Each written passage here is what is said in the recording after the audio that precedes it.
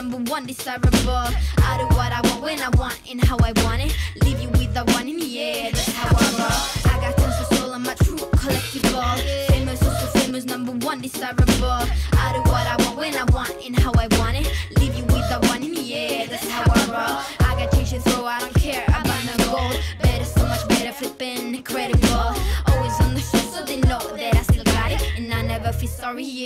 Of the world.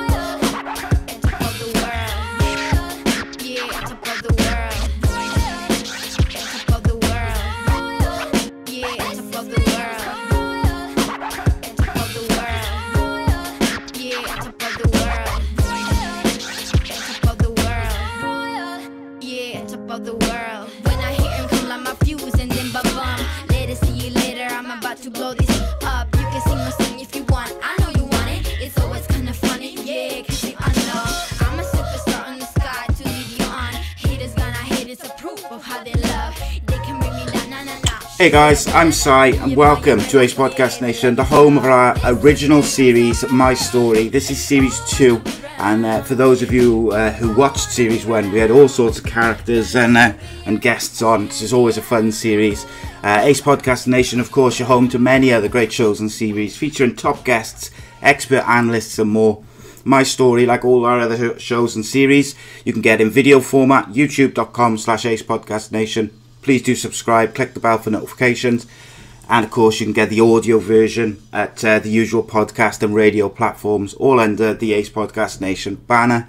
Uh, the My Story series is unique as we take our guests through their life and career, basically from birth and their upbringing right up to present day, as they uh, they share a few memories and anecdotes along the way. Uh, series one, as I mentioned, featured actors, footballers, broadcasters, authors, and more. And series two is no different. Uh, the tagline is simple for this one real conversations with real people. And uh, I'm delighted to welcome my guest today. He is uh, an actor, filmmaker, and presenter, Mr. Jonny Owen. Welcome, Jonny. How are you, my friend? I'm very good, thanks. It's very nice to be here.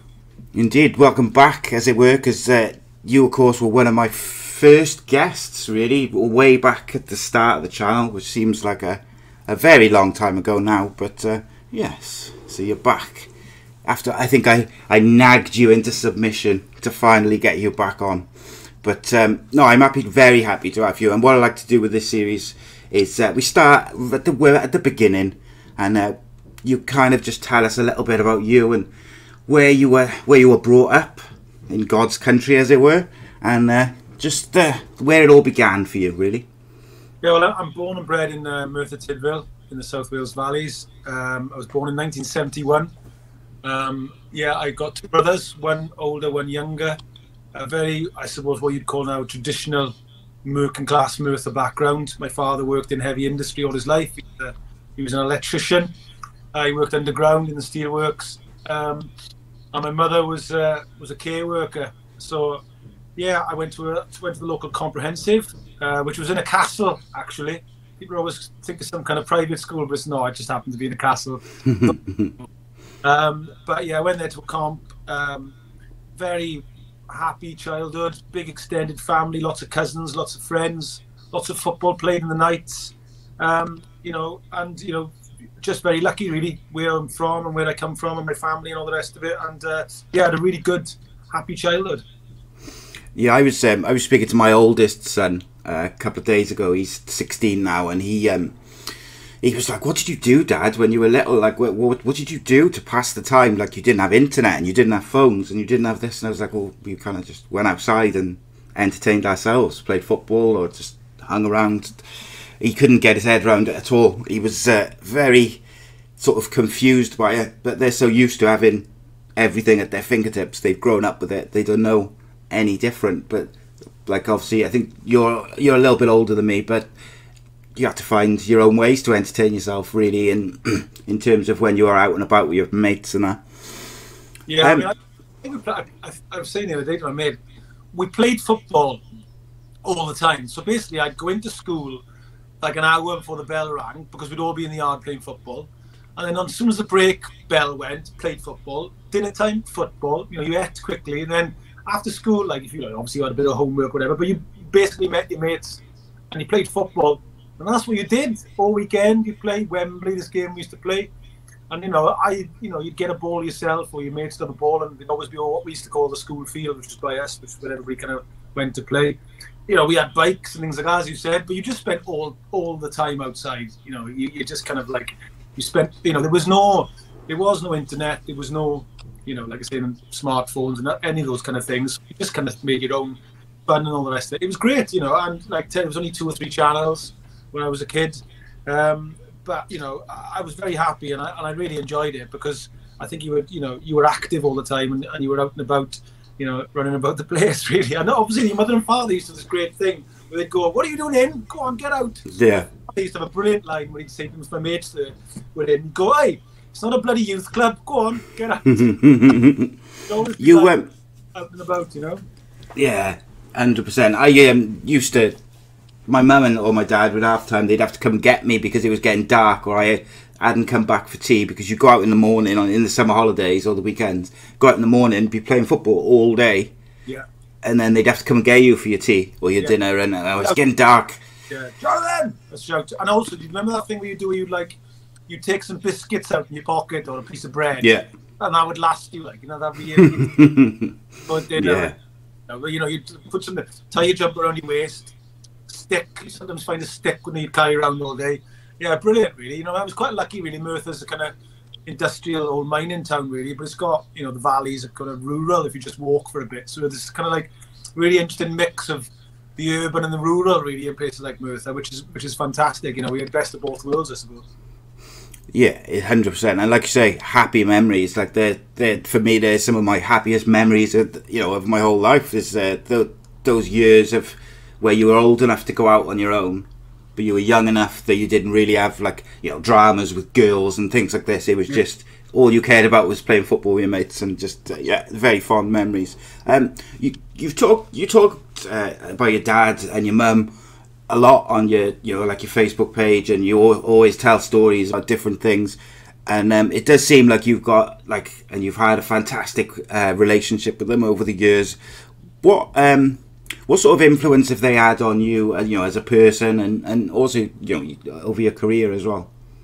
Well, my my mother and father, my mother's still alive. My dad passed uh, four years ago uh, last week. Um, but he, he lived till he was 78 uh, and he had a very he was he was very much a man of, of a different age in a respect. And i know we always say that you know the industrial revolution happened and men worked in major industries and that's mostly gone now. Um, but they did have a kind of a very specific way of of behaving and, a- and a way of life i suppose. My dad was very much of that sort of uh, of that school really. Um, and i liked him a lot you know. I, he was very funny he had a great sense of humor he had a very, very strong work ethic. He was always sort of saying to me, it's really important you earn. It's really important you pay your bills. Um, you know, and, and he used to go for a few pints most night down the local social club with his friends. Um, he was very happy in Merthyr. He was never, never wanted to move, never interested in him. Uh, he travelled a lot, uh, and he was in the British Army for a bit, but he was never interested in living anywhere else other than Merthyr. So we had strong roots in the town, and you know, my grandparents lived there on my father's side, lots of cousins, like I saying. So I kind of, I had a very strong network of, you know, an extended, big extended family, you'd call it, you know. So, and also I went to a local comp. I was born, you know, when uh, in the 70s, so the NHS was, you know, as it's, as it's proved to be when the COVID was very important in people's lives. Um, you know, so I kind of, I felt that I had every opportunity that you could possibly have to get on. I genuinely believe that. Very good education system in South Wales, where there's a big emphasis on it. As you know, you know, go to school, learn, get qualifications, and if you possibly can get to university, that was my old man's advice, and my mother's as well. So I was very lucky to have them, really. You know, and I always had a good, even to the end, really. I always had a, a relationship with my dad, where he was my father. I remember him saying to me once, you know, he was, he was on about something, and I had done something. He went, "I'm not your friend." Don't mm-hmm. talk to me as if I'm, I'm not your mate, my father. And I, and I understood what he meant by that. He was like, don't take the piss, you know. Yeah. act a certain way with me. I'm your father. And I was like, yes, I know, I'm sorry, you know, I done something. Um, so he always had that. So I respected him massively. You know, I respected you know what he would say, and uh, and I'm glad I had that relationship with him. I'm glad that he was was he was like, and, and, he, had a big effect on my career in the sense that I ended up even making the last film that I did, Three Kings, was kind of was about him because I was interested in the characters, Jock Stein, Bill Shankly, and Matt Busby that I felt he had similar values to, um, and I wanted to do something about that because it reminded me of him. Yeah, I think um, it's, it's it's it's strange because you go full circle. And like a lot of the things which I remember my father saying to me, similar to what you just said there. Like I know your mate, I'm your father, yeah. and yeah. just all these little these little things which you know just come up in sort of day to day life if they're playing up or being a bit cheeky or you know, whatever yeah. it may be. I find myself saying the same things to my three sons now. They're yeah. like they're, they're twelve to sixteen, the three of them, and I I say it, and like as I'm saying it, I'm thinking I remember my dad saying that to me. It's uh, it's it's like a full circle. But um, so growing up in Merthyr, when you kind of got to you know the sort of teenage years, were you you know still keen playing football and stuff? Were you good at football? Was there ever a chance of you sort of going down a, a sporting route career wise? I was all right. You know, I was I was like I could play in a local, local team and hold my own, but I, I, I thought pretty quickly when I got to about 14, 15, I, I knew I wasn't. I think the thing is with footballers is, I always say this, to become a professional footballer, you've got to be exceptionally good. You know, they are almost freaks of nature, footballers. Um, and I got to the age I was doing a bit of boxing as well, and I was doing all right at that, you know. But I fought somebody who was very, very good again, and I thought to myself then, you know, Mark Pembridge was my age, who had a, a pretty good career with Wales, and he went to Everton, Luton, Benfica, and I remember my grandfather saying to me, he was he was a little red-headed kid going, "He'll make it, the ginger boy," and I can remember being about eight and nine, going, "What about me? What about me?" Mm-hmm. To be honest with you, he's a he's a player. so, you know, I realised quite early on that you know I wasn't gonna have I didn't have the uh, I wasn't good enough to go you know become a professional footballer, and I was all right with that. I was fine with it. I, I enjoyed playing. I loved watching football. I loved watching football as much as playing. Still do.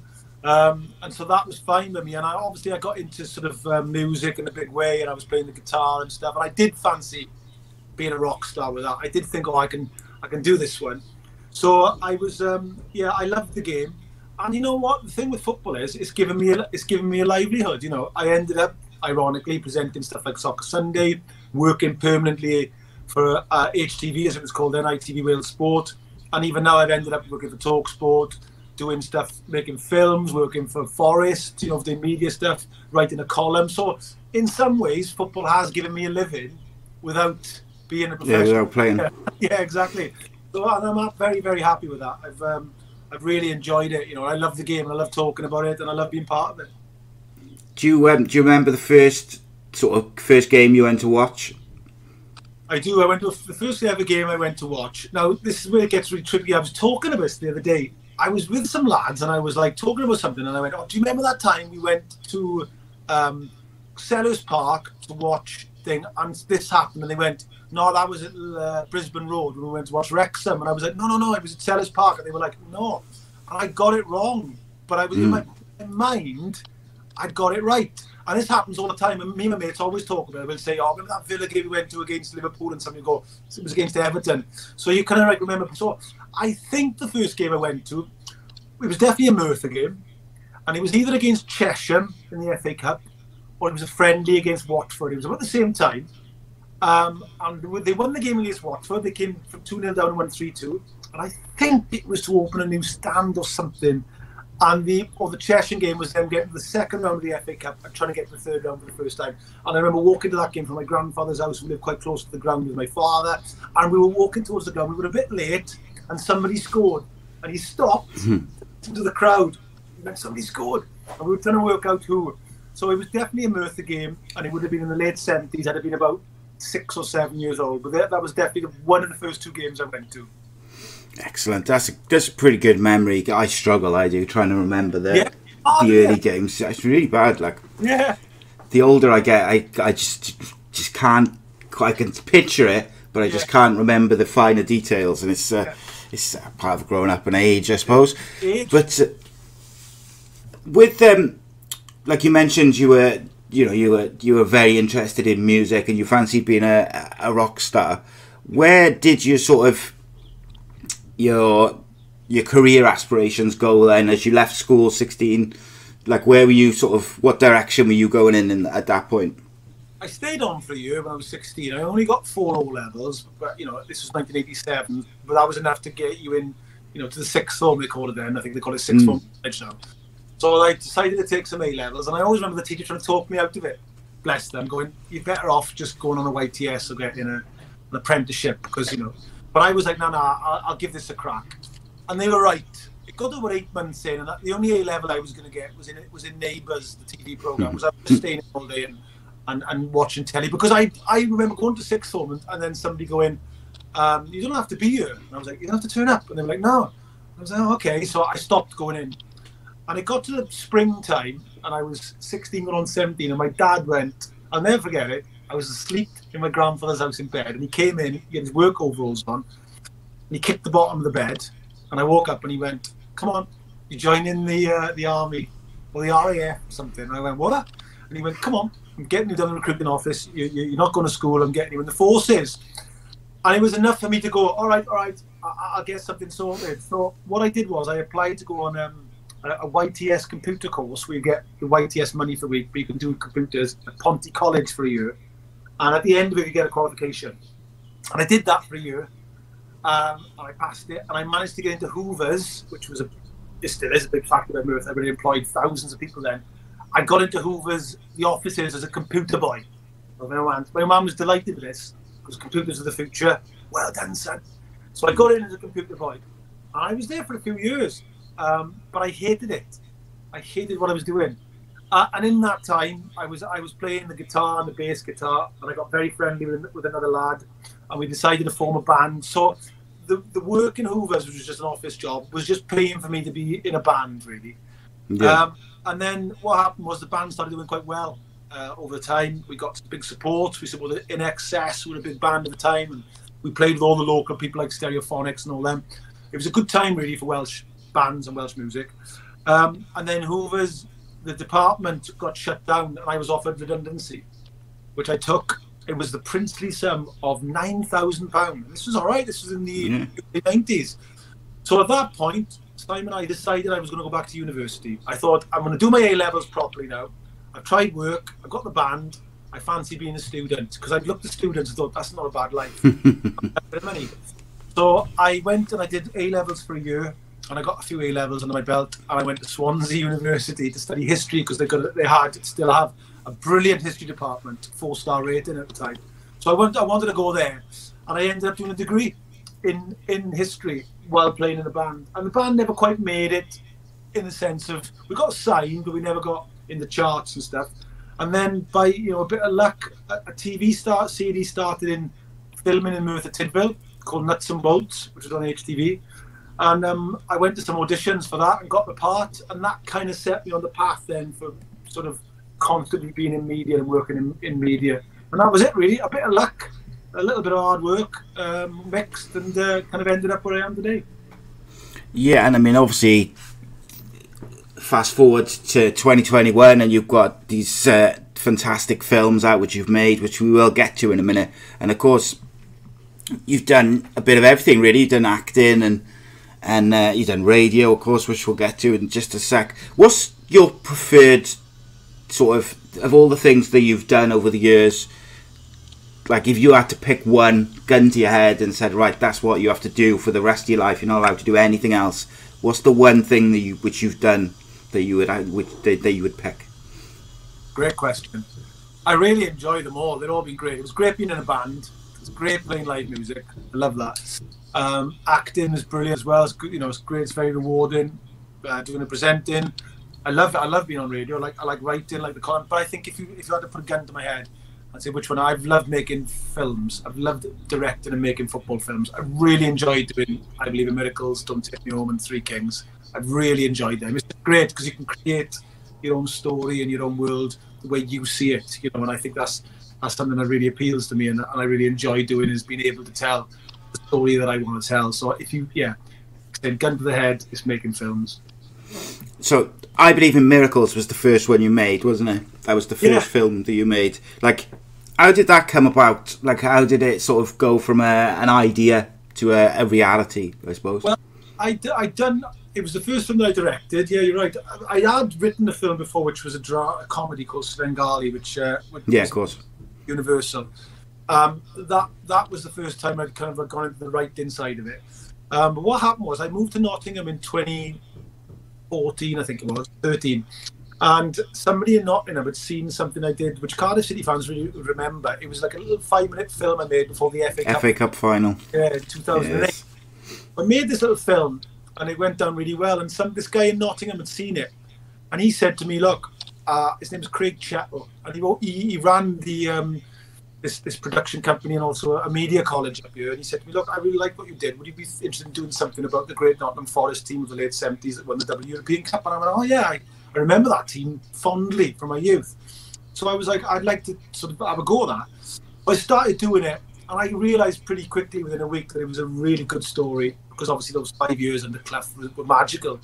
So I took it to Universal again. I took it to Baby Cow, and they agreed, uh, and it became much bigger thing then. And then, you know, we were offered a film release on it, you know, and and the DVD, big DVD release, and it was picked up by BT Sports. So it became a, a, a much bigger thing than it was originally in, intended to be. And I think uh, that year it was the biggest sports film doc at the UK box office. It did really, really well in, in cinemas.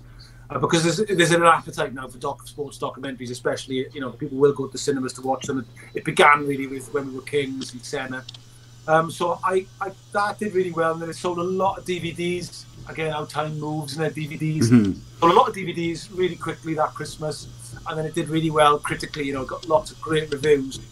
So yeah, that was all that, that came about. It was just blo- one bloke who'd seen something I'd done, said, "Do I fancy doing this story?" I give it a go, and the story is so interesting. I feel that uh, people just went, "Yeah, we'll have a bit of that," and uh, it did really well. It's amazing, isn't it? How like um, something which maybe would have started off as like a small project, just developed really quickly, and then the other thing which amazes me is like 2015 that came out, and like you mentioned the DVD sales, like we're only sort of five six years on, and DVD sales are pretty much dead, aren't they? Really, I mean, you would know better than me, but like, gone. You got you got like so that would be a great example. So that for example, and I'm not being exaggerating you. I believe in miracles would probably have sold over that Christmas and that time around about hundred thousand DVDs. Now you'd be looking at three or four thousand. That Wow. that dramatic a, a collapse. It's extraordinary, and it's all streaming now because it all goes to Netflix and Amazon and onto the channels. So it's kind of done really. The DVD market. There's no there's no real incentive to go down that route anymore. You, you're better off speaking to your Netflix and Amazons and now Apple and all these other channels as well. Yeah, like it goes back to what we were saying at the start of the show about everything's at fingertip touch, and it like Yeah. everything is available on some sort of streaming service Yeah. somewhere.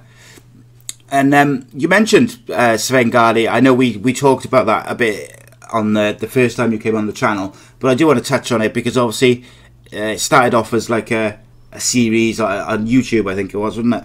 Yeah, it was, it was a web series. It started with two friends of mine, Phil John and Dean Kavanagh. And we had this idea just to film stuff. And in those days, again, it was, again, my memory, I'm trying to think, I don't think you could upload that much stuff on YouTube. It was much more difficult. This is like the mid to late noughties, like Mm. well, 10 years ago. So I don't even think Twitter had come out at one point when we started. So it was all very new to us, and we just uh, decided to put some stuff up on the internet. You know, the internet at the time was as like it is now in many respects. YouTube was just for like videos of cats on skateboards and stuff like that. You know, um, there was no idea really of like actually putting films and drama on there, and that's what we try to do. Really, we try to put something that every month somebody would tune into and um, enjoy, and it really took off. We got loads and loads of views and loads of interaction. And what we did was we, I tried to get people from the music industry to play themselves, and they did. People loved doing that. Um, and we got some great people. Alan Alan McGee getting on board was a big moment because once you get Alan, so many people fall into into wanting to do it as well. And it was great. It was a lot of fun. And it, like I said, it got picked up by a production company, and then Universal got involved, and we made it into a film. So it just goes to show from sometimes little things can you know can um, things can grow and become something that you could never have I've imagined really, and uh, I've been very lucky. Like I said, that things have developed. Plenty of stuff has fallen by the wayside. You know what I mean? So you you remember these because they become something. And there's lots of stuff we tried and never quite come off, but that's part of it. You learn from them and um, try better next time. Yeah, it's it's, uh, it's ideas, isn't it? it like you you're going to be full of ideas. Not every idea is going to materialize or, or go into where you initially thought it might or could be. It's, that's uh, I suppose that's part of it. What um, you obviously you've done a bit of acting here and there uh, over the years. Have you got like a favourite uh, a favourite role from any of your acting? I really liked um, doing nuts and bolts when I started. It was this like really funny little Welsh drama series. I'm very uh, fond and nostalgic of my time on there. I had, a, I had a great time. They were brilliant people. I acted with Roger Evans and Eve Miles, who's done really well, and Roger. They've done great. I, I really, I really liked doing that. That was um, that was a start for me. And I, you know, I was quite young then, In the summers never seemed to end, and the weather was nice, and we were filming in Merthyr, which is my hometown. So yeah, I really, um, I really enjoy doing that. That's probably my favourite. And like I said, it's like anything. It's like when you first start doing something, it's always, it always seems to be better, doesn't it? When you first start and you don't get used to it. So yeah, I think it was my time on nuts and bolts, really. Yeah, and I mean, you've done, you did Shameless, didn't you, for a bit, and um, I thought it was good fun as well. yeah. yeah, that's um, that's just one of those series which was like quite a cult thing, wasn't it? And Yeah. like it's still going uh, as an American version now. I think I don't watch it myself, but I think there's an American version which is still Really? going. Of it's, uh, it's, it's really interesting. There's a few series like British series from around that sort of time, which are finished in the UK, which are now going on.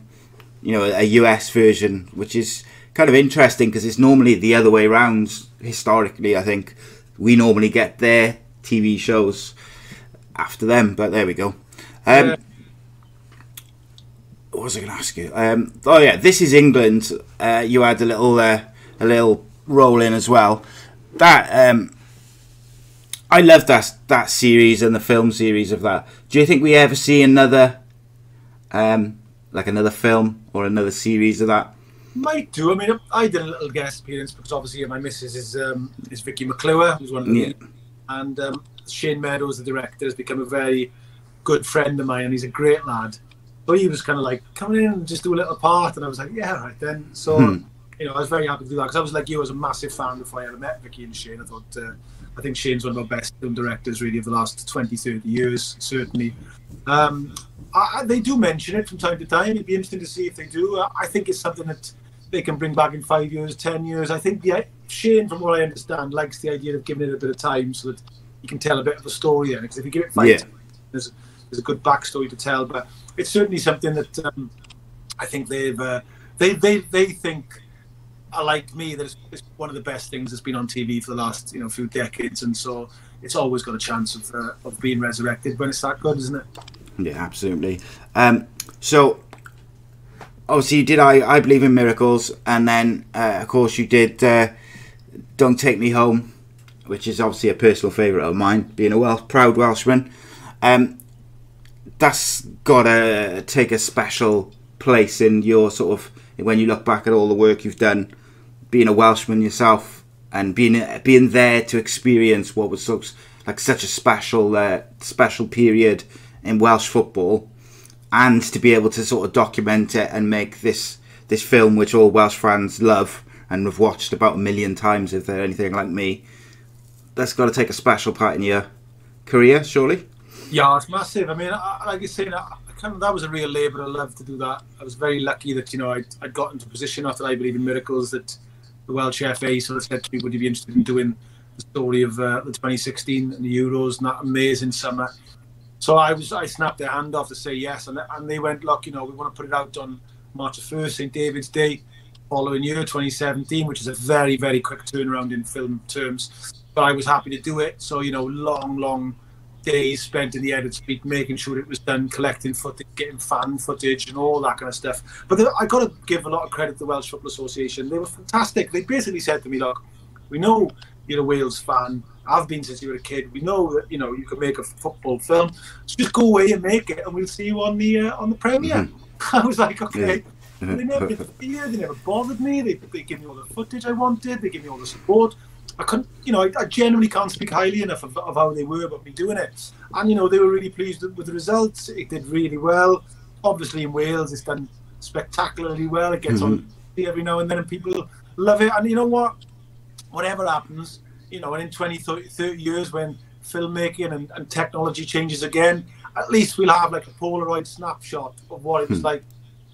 Yeah, hundred percent. And I think uh, even now, like I'll see every now and again on social media, someone will like put a message up or a comment up on your Facebook or something, and they'll say, "Oh, I watched Don't uh, Don't Take Me Home last night." Again, reliving it, Yeah. and like I've done it a few times, just relived it. The question on all uh, all Welsh people's lips is that though, will we see a sequel? Well, it depends how well we do. I mean, we're we're talking now, and, and tomorrow night we play Belgium, which is a really tough game for the Euro, for the World Cup qualifiers. I'll take a point there. Um, but yeah, I, Absolutely. if we'll see how it goes this summer. I mean, that's the point. I I didn't go to France to make a film. I was I was out there as a fan, which I think was good really because I really enjoyed it as a fan. I wasn't worried about footage and filming and coverage. I was just there as a fan. It was when I came back and uh, the Welsh Football Association again because they, are very cute. They got a, a, a company called Tiny Media who work with them who were brilliant. Who had lots and lots of footage of different things behind the scenes and training and the players very comfortable. So, you know, it might be that if we have another tournament, anything like the other, we'll have the footage and we'll uh, we'll cross that bridge when we come to it. But I'm I'm going to do the same. You know, I'm just going to enjoy it as a fan because we've qualified again, which is brilliant. Uh, and then we'll see we'll see what happens. But uh, yeah, listen, I, I I remember walking to the City Ground in Nottingham and a Forest fan said to me, I think he'd had a few, but he said to me, I watch I Believe in Miracles every Saturday night, Jonny, after a few pints. And I've had a few Wales fans say similar things that if on a Friday night they get in or when which is pre-COVID, or if they're in and they've had a few cans, sometimes they just stick it on just to go back to that summer, and that's that's everything to me. So- Somebody saying that to me makes it all worthwhile.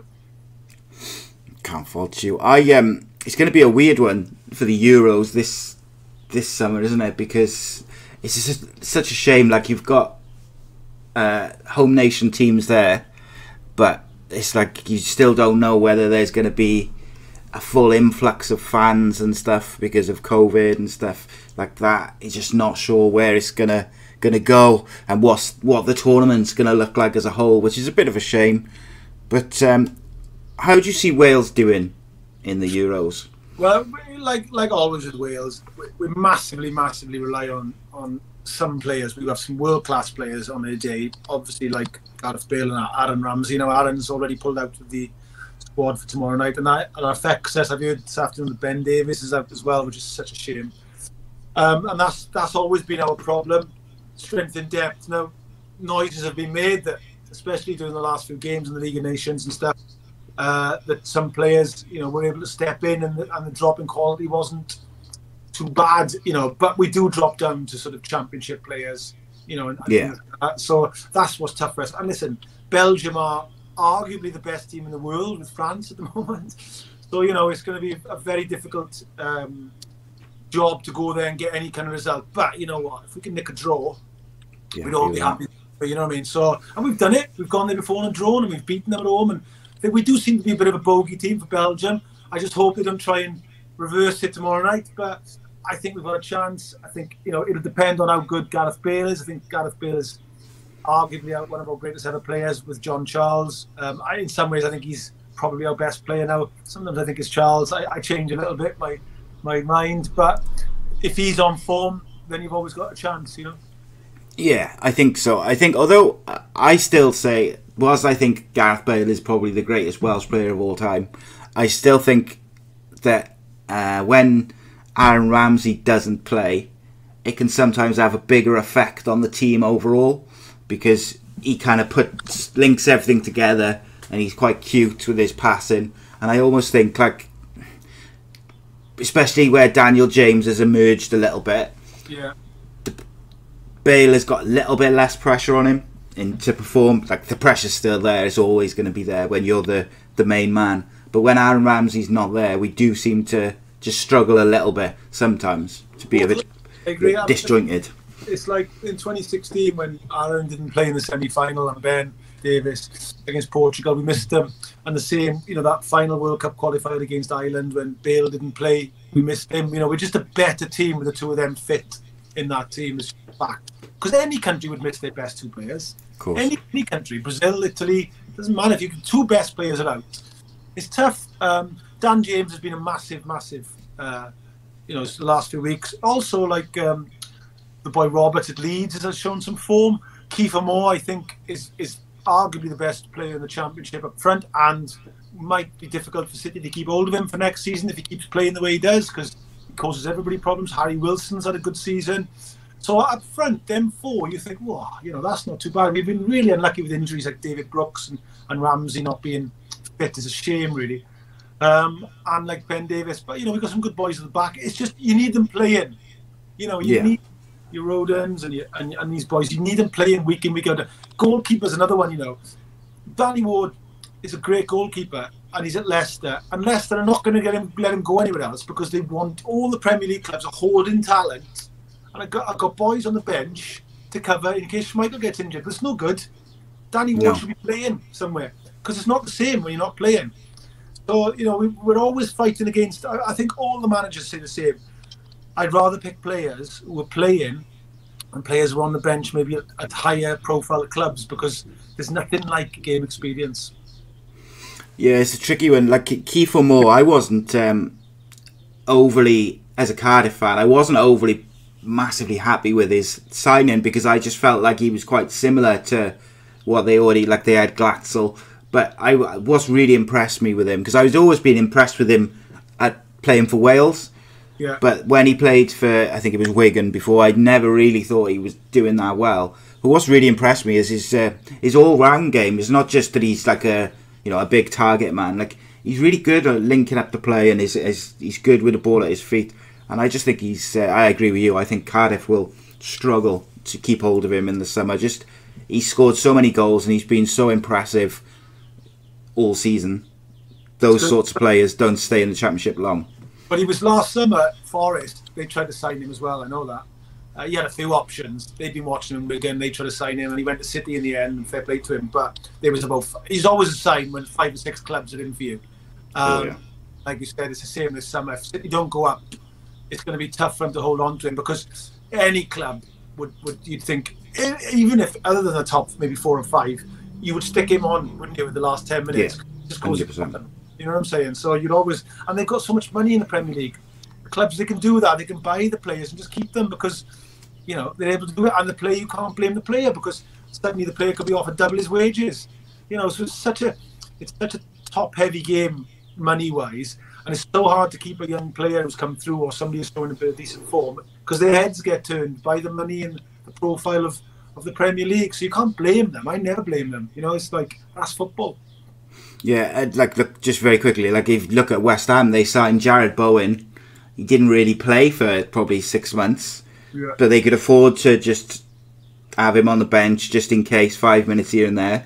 He's he is playing a little bit a bit more now, but then they signed Benrahma and like those two players in the championship with like Brentford and um, I think it was bad Jarrod Bowen playing for. Hull, Hull, that's right. And um, like they were their massive, big, big game players, and Yeah. West Ham just took them and then played them, you know, on the bench and that. I've Um, seen, I've seen, I watched him a few times, Jarrod Bowen, and I could see he's one of the best players in the championship. A bit like Yeah. Keith. Um, and St Forest had a player called Matty Cash, who was patently head and shoulders a right back, and he went to Villa in the summer. Uh, lovely kid, and you can't blame him. Do you know what I mean? No. Like trebled his wages, and he went to play in the Premier League.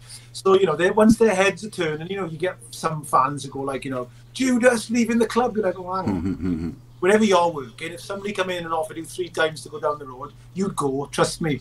Do you know what I mean? Because you've got to think of yourself, your family, and your career. And you know, agents are saying to them, and they're right. You've got maybe five, six years max at the top. You know, seven or eight if you're lucky. You've got to take advantage of it. You've got to do what you can to, to you know, to, to make sure you're financially secure, for the rest of your life. So I get it. You know, I, I understand why players sometimes agitate for moves and all the rest of it, and and I, I'm a fan as well. So it breaks my heart, but you've just got to be philosophical about it. You've got to stay that you know. Ultimately, if a player becomes that good, if your club isn't at the very top end of football, he's going to gravitate towards the top end. That's just going to happen. Yeah, hundred percent. Um, so your most recent film, uh, Jonny, is uh, Three Kings. Uh, you mentioned it a bit earlier. Tell me about that because um, I could tell just by the you know the way you talked about it and in relation to your father, like it's obviously a special project to you. How did it kind of get off the ground and, and come about? And obviously tell us a bit about it as well. Well, there's a company called um, Box to Box, and they made um, uh, Maradona and the Ronaldo film, and they, they the lads were there and seen the I Believe in Miracles film and were very complimentary, and, and we got on really well. So then they were like, "Do you fancy doing something with us?" And I was like, "Absolutely." Um, and so we had a chat, and I had this idea because my father gave it to me about doing something about the three of them being from the same part of Scotland and almost like inventing the modern sporting institutions of Manchester United, Celtic, and Liverpool as we know them now. And they really liked that idea as well. So we decided to, do it. We raised the money to make it, um, and we managed to get it on Amazon involved. And so we did the film. And what I wanted to do was make the film about men that existed in football decades ago now, but whose effect you can still see.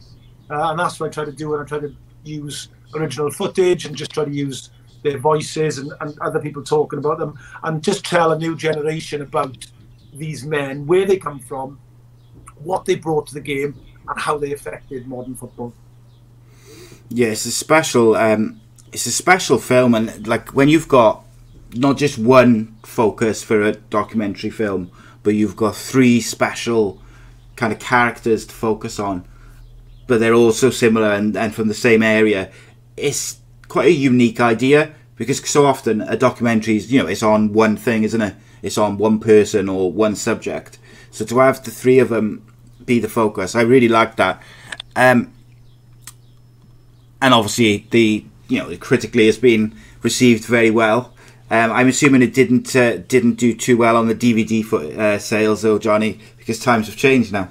Yeah, it went straight to streaming. I mean, it did uh, it did really well in the cinemas because it was only out for two days. There was another lockdown. It was it was a bit of a laugh. It was number one in the um, in the film document, well, the film charts because it was only out for a day, and loads of uh, football fans went to see it.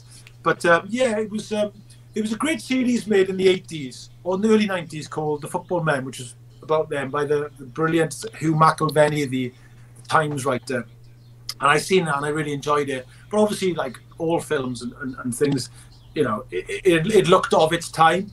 So I wanted to do something in a very much more uh, modern way, the way documentary films have been made much more now, which is lots of archive footage, dress in the voices. So you don't see people in vision being interviewed and that's what I wanted to do. I wanted to do something that was brought to um, a modern audience and use use modern music and things like that. Um, but yeah, I, it, listen, it got onto Amazon. It's on there now. It's done really well. It had five stars on there with all the reviews, which is great. I think there's a lot of Celtic, United, and Liverpool fans on Amazon. Mm-hmm. I was a bit like I was pleased with that. And uh, yeah, it's one of those things. It's a bit like "Don't Take Me Home," and I believe in miracles. Once it's out there, it'll do whatever it's going to do the next few years, hopefully. Yeah, and I think it's something that people can go back to, even if they haven't watched it when it's first come out. They might come across it when you know on Amazon or on Netflix or something, and they'll be like, "Oh, I'll watch that," and then they, you know, and and I think if someone who maybe doesn't know you, but just comes across one of those things, one of your films on Netflix, and they enjoy it, they're more likely to to sort of look, "Oh, who made this?" and then they'll find your your other films. Um, you mentioned lockdown, mate how's how's that like affected your projects and your work? Because it's you know it's been a year now, pretty much of being uh, locked, is, locked in. Been, I was talking to a mate about this today. Actually, this morning he was going. It's, it's, it's been a dreadful time for people, you know, in the sense of you know people have lost loved ones and and you know mental health issues. You know, being locked up. I think it's given us all a real um, realization of how important interaction is and lots of stuff that we took for granted. Uh, you know, we, we won't take for granted again. I, I wouldn't imagine. You know, just I've, I've really missed the pubs, just missed that social side it. You know, just seeing your mates and having a pint and having a, a decompress, as I call it. Um, what I try to do is, I've, obviously, I've started the radio show. I've got a radio show now on TalkSPORT called Jonny Owen and Friends, uh, and I was lucky enough at the Times started to ask me to write a column. So I try to keep myself busy with that side of things, so that I was able to do that. Very lucky, you know, in that respect. I managed to get Three Kings out as well but very aware that it's been um, a dreadfully tough time for people, and um, I'm hoping that you know I got my first vaccine actually on Saturday, so yeah, they're doing the uh, doing the slightly younger age group now up, up here in Nottingham. So I'm just hoping that we can by the summer get back to uh, to some kind of normality, and in football terms, just get the fans back. Get the fans back. The big thing here with with Three Kings was Jock Stein famously said, and it's probably become the most famous saying ever now in football. Football is nothing without fans and it's taken this pandemic to, for us to all realise how right he was. You know, Oh, how God, yeah. football just misses having supporters in, you know, and, and how important they are for the lifeblood of the game. So, you know, for me, um, I can't wait to see the full stadiums again. And I do think there'll be a big upsurge in people wanting to go to football. I think one of the things I've taken from the the whole pandemic is I won't say no so much to things anymore. I'll probably say yes for the first two or three Yeah. years. I haven't done to do anything. I'm gonna be all right. I'll come. Yeah. But, and I think I hope, and I hope like you know, I say this, but everybody will probably feel the same. I think. I think there'll be a big resurgence this summer of people wanting to go out and wanting to sort of socialise and want to do lots of different things, and uh, that can only be a good thing. Yeah, absolutely. Like I watched um, the South Wales derby on Saturday and then the Old Firm derby on Sunday, and it's just not the same without the fans. Like it's not quite just another game, but it's it's just not the same. It's not as hostile. It's not as passionate. There's just you know a bit of everything. Um, to finish us off, Jonny, tell me a bit about your writing. Tell them about Mick McCarthy and me. I, I, What's I. Me and Mick McCarthy. I said he Yeah. Oh yeah, yeah. So uh, He was the only person in South Wales. the only person in uh, in South Wales who, who said he was going to do a good job. Although there um, there is there's one lady who watches uh, our football shows, uh, Donna, who said she's been adamant since the moment, uh, even when I was ranting on the championship show saying, "Oh, it's dreadful," yeah, she was like, "No, he's going to do a good job. He's going to do a good job." And uh, and then I messaged you. Literally, I think it was that night and I we were talking about something else, and I sort of said, "Oh, what do you think?" And you were like, "Oh, I think he'll do a good job," and uh, and there we go. You were very, very right. What it is, I think the thing is, I'd seen him play, uh, manage, sorry, Ipswich a few times. They were very, very organised and hard to beat. Um, they give Forest a bit of an hiding, um, 4-2-1 game, and I thought, oh, these are all right. And then, of course, he leaves because Ipswich fans, this is the classic, don't like the style of football. You know, you're like, all right, they go down almost straight away. And I was a bit like, you do a good job, somebody would. And I thought, always thought myself, City had the players. You know, they got good, got some good players there, Cardiff, and I really Mhm. like them more. I do think that uh, Harris was a bit unlucky with injuries because he missed um, Moore for a few weeks, and of course he comes in, Moore comes back, gets them very well organised, very physical. They looked up for it in the South Wales Derby, which is all we ask for. Look like you want to win or you want to you want to get a result, and they did that, you know. And, and you've got to give him and and the thing. But what I really like about City fans, I love City fans. Obviously, they, they're great and they've been brilliant with me, supporting everything I do. Is they've all gone, oh, I got that wrong, and I love it. Yeah. You know, they, they haven't held out with it and gone, oh, you know, I guarantee he'll mess it up in time. They've all embraced him, and I think whatever happens this season, when City fans go back to the to the Cardiff City Stadium, they'll give him a great welcome. I really believe that. You know what I mean? And, and they're terrific fans for getting behind a manager. Neil Warnock says that even to this day. And if, if they if they get behind you down there, which they always do, fair play to them, then um, you know it's a terrific it's a terrific crowd to get to get behind you. Hundred percent. They um, even Neil Harris, like there was there was genuine uh, kind of a bit of underwhelming reaction, perhaps when he signed as manager. But soon as that initial sort of complaint is out of the way, it was very much we'll get behind him and we'll you know just see what he can do. And Did a good job. Got us. Yeah. he did a good job last year. I just think he he made a few puzzling decisions this year. Like like Aden Flint has come back under Mick McCarthy and he looks like a top championship defender, Yeah. but he was out on loan because Neil Harris didn't fi- fancy him. And you know that's football, I suppose, and it's managers sometimes like certain them players. See them in training every week. They see things we don't see. Listen, football. You know, we made. I've made a living out of it. It's all about opinions. That's what makes it a great sport. So, you know, sometimes people are, are going to agree with you. Sometimes they're not. You know, that's part of the game. We've got 24-hour coverage, radio stations, rolling news. It's because it's what makes it the game it is. Everybody's got an opinion about football, which is great. Absolutely. I uh, I seem to disagree with uh, with Andy about football every Monday and every Friday, but it makes it it makes it all the more fun. We had um, we had Jeff Winter on. Um, it was a while ago, actually, a couple of months ago, and Andy uh, reminded me of it yesterday because we had Andy's brother on last night, and um, he was talking about, and he said he sat there for 15 minutes while me and Jeff were just going back and forth on like a different, just a difference of opinion. And Andy just said he was just sat there in the middle, just sort of looking from side to side as we were just going back and forth. But that's what makes this so good, isn't it? Difference well, of opinion. If you can play this to him as well, Andy, Andy scored the goal. That was one of the best nights ever. That was when he scored that. Yeah. He's a legend forever now. You know. That's it. That's brilliant for him. I mean, he had one great. I've seen him once in a game. He had a game a bit older. Cardiff won 6 0, I think, and he was electric. Yeah. Brilliant. Uh, but that goal he scored, he took it so well. And that, that, was one of the best nights ever, really, being a City fan in, in, in the capital. It was just a great atmosphere that afternoon. Very nerve wracking, actually. He went to extra time, I think, didn't he? Yeah. They weren't comfortable. They were a good team, QPR then. Um, and uh, but he scored that goal and just the relief around that stadium and I have loads of people again getting things wrong. I remember a mate saying to me, uh, and then we got in the Premier League, and I was like, that wasn't no. Championship. And he was going, oh yeah, I forgot. And I like, so you know, just how difficult it was even to get out of League One then the Championship. Oh God, yeah. Us ages. It took us two years, didn't it? Yeah, well, I think the year before we'd lost to Stoke in the semi-final. Oh. And the year before that, I think we'd missed out on the last day or something of the playoffs. Yeah. But like, it's I say, I say to Andy all the time, it's really it can be quite strange for me sometimes because that day was like I look back at that. That was one of the my the best nights I've ever had after football. Like I was outside the City Arms until about four o'clock in the morning, just singing Cardiff songs, and it was sensational. Like just surrounded. I think I was surrounded by strangers by the end. All my mates had gone home, just yeah. people I didn't know. And it was such a amazing atmosphere. And now he, Andy is like he's one of my closest mates, and it's Brilliant. Just the way it goes, isn't it? But uh, do two shows a week with him, and it's lovely. I mean, did, did you ever did you go to Barnsley away in the FA Cup semi final? Uh, yeah, I think I did. Yeah. Ledley scored the goal.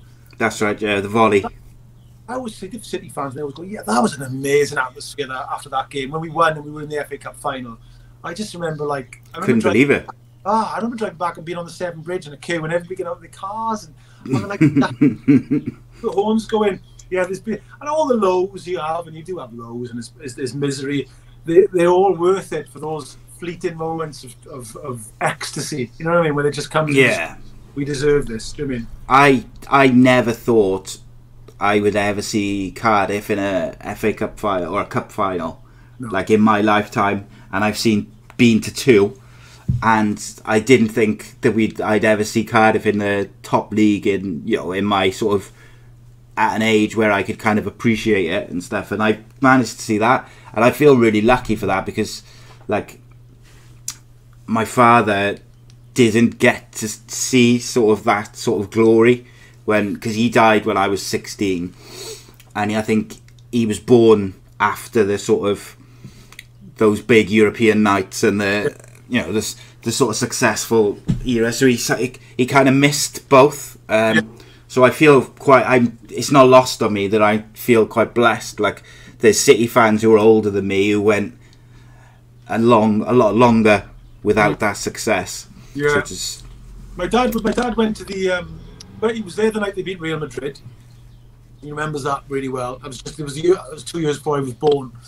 Um, and then I remember. I the thing with Cardiff was there was these used to be internationals at Ninian Park, so you'd go to them, and they would be they would be full a lot of the time. So you'd get 40 odd thousand there. That's what I remember. Then the City games, you'd have like 4,000 there. Literally, like, mm-hmm. that extreme. And then by the late 80s, I mean, you, you the, the, the, crowds were tiny sometimes. You know, you'd, you'd, be, in, you'd be playing somebody like, I don't know, Torquay, and they'd be like, they'd bring 150. Scunthorpe. And, yeah, and I just yeah. remember big, you know, giant sort of cavern of a stadium and, and, and you know, hunched up under the pillar in the Bob Bank underneath the speaker. I remember them very well. But then when Sam came in, Cardiff City were always getting about 14, 15,000 then. You know, it, it, yeah. it, it's that, and the ground always looked quite full, didn't it? You know, and they did it, great, and nice and all that. There was always a good atmosphere. I felt that that got it going again, really, for me. Yeah, he changed the whole expectation around Yeah. what Cardiff Cardiff City could be as a football club, didn't he? Just and created that kind of siege mentality almost between the fans and the players and everyone because they was all everyone against that sort of thing and Yeah. and the fans started coming back like you said. It was a, it was a good you know, I know it went a bit sour, but like that period of Sam, you know, where they beat Leeds in the FA Cup and just sensational. Whatever, whatever it ended up, and it did end up whatever. He did start it. He started. Of course he did, yeah. Cardiff wouldn't be where they are now or where they've been over the last couple of years without his No. him coming in. You know, how many times have they been on the brink of you know, closing up shop over the years before he came in? Yeah, yeah, I remember It's, it. uh, It's one of them. Jonny, just very quickly, I wanted to ask you about your writing. You do a, a column each Sunday. Is is it a Sunday? Or on the weekend? Sunday Times uh, in the section is called Jonny Owen's Extra Time, and it's just me and my pontifications, my ramblings, I suppose, about football and culture and all that kind of thing. A bit like the show Jonny Owen and Friends on TalkSPORT, nine o'clock till eleven. Again, that's just me talking about football culture, all the stuff we're talking about. What makes us Yeah. football, you know, the, the socialising your mates, what pubs you go to, what clothes you wear. I've done one this week about what food we eat. You know, I even talked about Clark's pies. Cardiffians would love that. Best pie in the world is a Clark's pie. I explain that in this column. Well, there you are. That's a good way to, to go full circle and wrap us up. You just mentioned Andy uh, against Oldham. In that game, he scored uh, a hat trick against Oldham, and uh, well, I think it was his third goal. He uh, when he goes to celebrate, he gets one of the Oldham fans throws a pie at him and hits him in the face, and he ends up with ket- ketchup all over his face. But uh, there we go. Um, Well, north, innit? yeah. I suppose better to be it by a pie than a coin, I suppose, isn't it? Um, no, Jonny, thank you very much for your time, mate. I really appreciate uh, you finding the time to talk and talk to me, and I uh, thoroughly enjoyed uh, talking about your career and stuff. And uh, it's just been a pleasure as always, my friend. You're very welcome, mate. Good luck with it all, and uh, very well done, mate. Proud of you what you've started and where you've ended up. It just goes to show what you can do. Fair play to you. Thank you very much, mate. Deeply appreciated. Um, guys, subscribe youtube.com slash ace podcast nation and uh, the audio versions at all the usual podcast platforms. And uh, we'll be back next Sunday with another episode of My Story. And uh, don't forget to check out the football shows every Monday and Friday live uh, on YouTube and Facebook and Twitter. Until then, I bid you farewell. Cheers.